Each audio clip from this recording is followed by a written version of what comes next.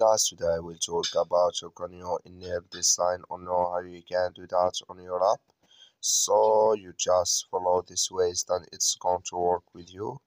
All you have to do so you just go down here. You click here on profile down here. When you just click on profile it's going to take you to next step here. It's going to show for you like this.